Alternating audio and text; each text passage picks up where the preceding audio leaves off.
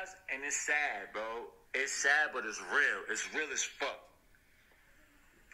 Motherfuckers are not gonna appreciate me until I'm fucking dead. They're not gonna realize how much fucking work I put in. They're not gonna value how much my contribution into the game. They're not gonna value that shit. They're not gonna see how creative I was. They're not gonna see how great I was until I'm fucking dead. They're not gonna give me my proper respect, my fucking due motherfucking my, my props, my, my praises. They're not gonna give it to me until I'm dead. They're trying to take away our freedom of speech. It's time we unite and go against the elites. There's 99% of us, let's break them down. Either way, the evil ends from trumpet sounds. Out of the blue came the passing of my mother. The government we see in Dome are evil undercover. They're drinking human blood, children's of adrenochrome. While they had us on lockdown, urging us to stay at home. Social distancing is part of agenda to have us separated. It's 1984 all over again.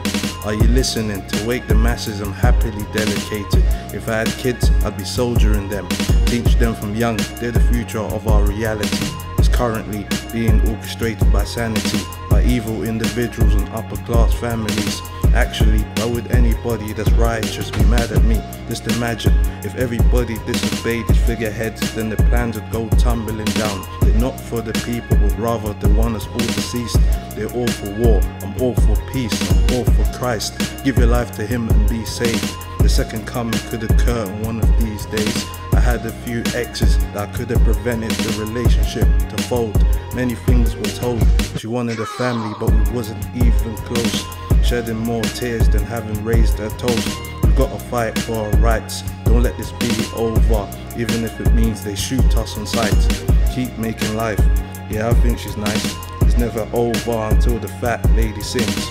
Maybe it's time I found me a wife, but in the past, I've had many things. They're trying to take away our freedom of speech. It's time we unite to go against the elites. There's 99% of us, let's break them down. Either way, the evil ends from trumpet sounds. They're trying to take away our freedom of speech. It's time we unite to go against the elites. There's 99% of us, let's break them down. Either way,